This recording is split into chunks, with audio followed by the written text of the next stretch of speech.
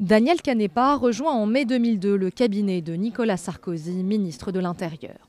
Un cabinet dirigé par Claude Guéant dont il devient le bras droit. Très vite, sa rémunération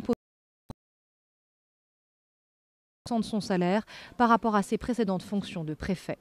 Claude Guéant s'engage alors à compenser cette baisse salariale. En trois mois, une solution est trouvée.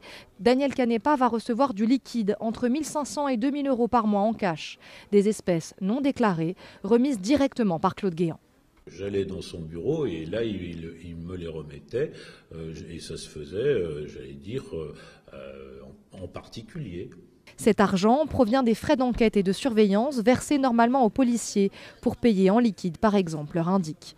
Un détournement qui ne choque pas Daniel Canepa. n'avais pas du tout l'impression de faire quelque chose d'illégal.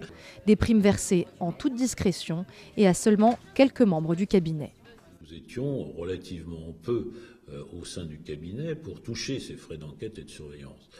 Euh, donc ça pouvait, si euh, ça se savait trop, susciter effectivement ou des envies ou des demandes reconventionnelles.